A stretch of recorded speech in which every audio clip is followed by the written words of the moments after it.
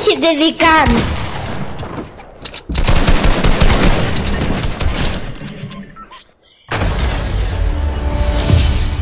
Ε, επειδή έκανα τις βλακίες. Ου!